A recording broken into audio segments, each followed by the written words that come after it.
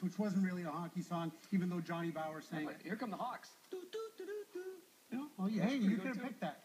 That little shimmy that you gave and, and what that little I don't know what you just did. That's going. That's that's on YouTube, guaranteed, right there. in the history of the quiz.